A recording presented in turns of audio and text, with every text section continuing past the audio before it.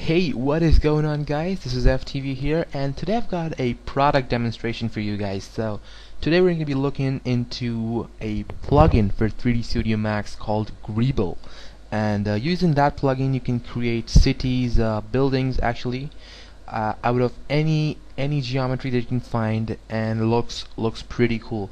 So um, yeah. So first thing uh, you want to go ahead and download that plugin. So what you need to do is go to the link in the description and it's going to be this link here.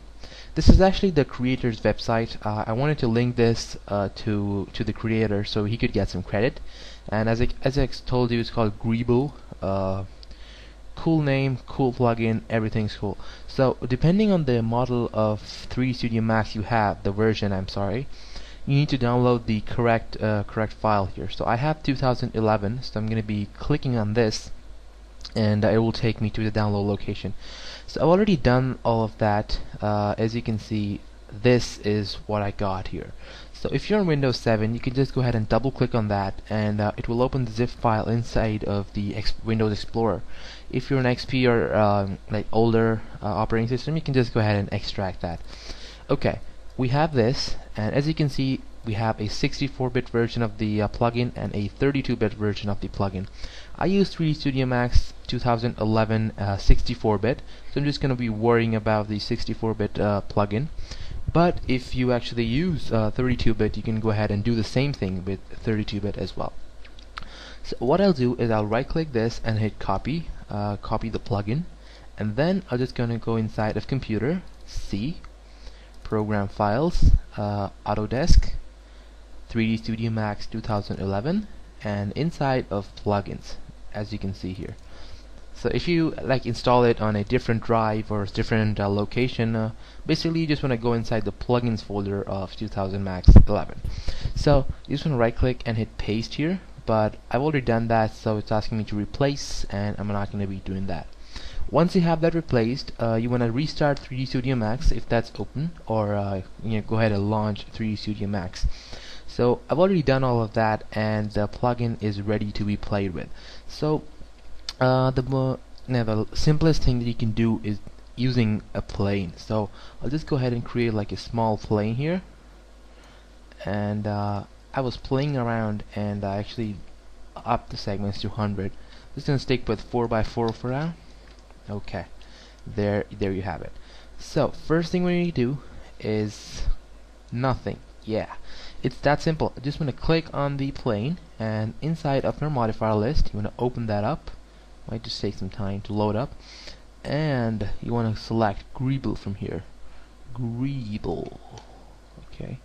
There you go. There we have our Greeble effect. And instantly as you can see I'm just going to maximize the viewport here.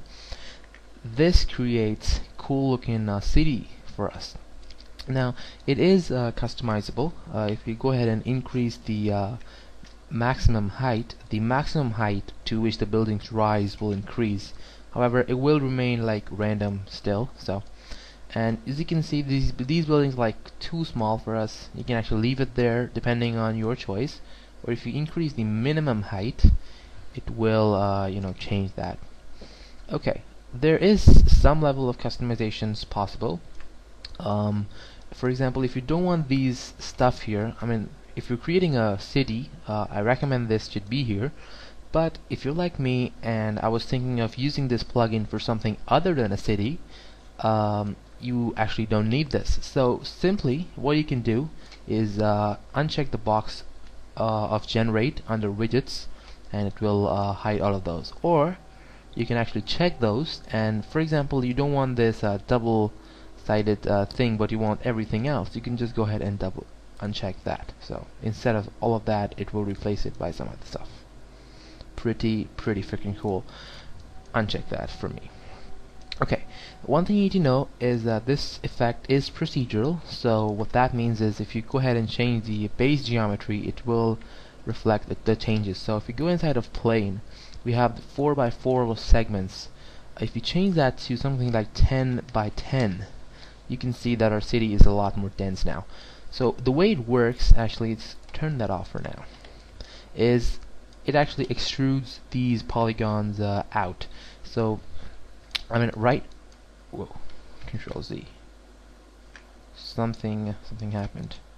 Not good. Um, okay. So it extrudes these uh, these polygons randomly up, and uh, there you have our city. So, as you can see. Also, if your geometry has like uh, triangles, uh, you can check that. But since this doesn't have triangles, uh, I'm gonna uncheck that. Doesn't really matter. Also, you can go ahead and change the look of the city. For example, if you don't like it right now, just go ahead and change the seed, and uh, that will change like the entire look of the city. So, yeah. I mean, it's like different versions of, of random. Okay, so let me show you and let me tell you that this is not limited to a plane. We go ahead and delete that. Let's do something a lot more interesting now. Create a sphere, okay? Yeah, there you go. Maximize this up. And we can actually apply Greeble to this, okay? So go ahead and apply Greeble. Greeble and whoa ho ho looks like looks like Cybertron to me actually this is what you get looks pretty cool uncheck triangles if you don't want them to appear on the very tops so as you can see these were uh, like triangles and I unchecked triangles so it doesn't render out there um, just your personal preference okay and you can increase the maximum height and the minimum height play around with this and actually looks pretty cool I've never tried it with a sphere actually Okay. Okay, one more thing that you, yeah, that you can do with this plugin is something a lot more complicated. I'm just gonna hide this uh, height selection. And let's go ahead and do a plane for because now what I'm gonna do is something that is not uh, memory efficient. So I'm gonna make a lot of buildings here. So just gonna apply Greeble to it very quickly. Greeble, Greeble, Greeble. Oh, okay, there you go. Uh, increase the minimum and the maximum height. You can actually have like an animation of uh, inversion and stuff. And there are pretty much a lot of possibilities here. I just revealed my next intro idea. Shit. Anyways, uh, I'm just gonna uncheck the widgets. We don't want that for now. Now comes the good part. Go inside of plane and beware, this might uh, crash 3 Studio Max on low computers and I guess it will on mine too but uh, I'm still gonna try it I'm gonna increase the length segments to 100 and the width to a 100 oh my god. Oh my god. This is truly beautiful. Actually we can go ahead and increase the size of the plane just a bit. And don't complain about how slow my computer is because uh, yeah you, you probably know that there's a lot of stuff going on here. Just go ahead and increase that way way large. There you go hit F4 we don't want that see that. And there you go. It looks uh, less like buildings more like grass but yeah if you, you, can go ahead and render this out. It will take some time to do it. You can, you can see I just rendered that uh, for previous time.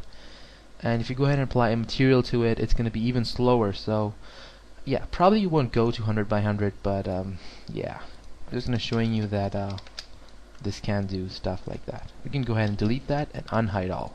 So we have our sphere right there. Okay, so yeah, this is pretty much it about the plugin. And I actually uh, looked and uh, saw this plugin first used by a guy on YouTube. I don't actually remember the name, but uh, yeah, I then go, go, went ahead and um, explored this plugin a bit and I found out that it's really cool and uh, very very effective. Again I'm going to repeat that this looks a lot like Cybertron and you can actually go ahead and convert this to an editable poly and uh, you know make stuff look even better. So yeah this is uh, this is pretty much it for this uh, demonstration. I hope you guys liked it. There are pretty much I've covered pretty much everything here. Um, one thing didn't show you is uh, this one so you're probably guessing that if you have a lot of this stuff going on at the same time, um, it will consume a lot of memory. So to save on that, you can check modify for render only, and then this is going to render out as a sphere. I mean, it looks like a sphere in the default viewport. But if you go ahead and render this out, it will uh, look look pretty cool there. So yeah, this is some uh, memory. Uh, this, is, this can solve some memory allocation problems other than that this is a very cool plugin. I definitely recommend uh, everyone to give it a try and a big thanks to the creator. And yeah this is pretty much it. Thanks for watching guys. Please leave a comment below and please like and subscribe to my channel. And uh, yeah thanks for watching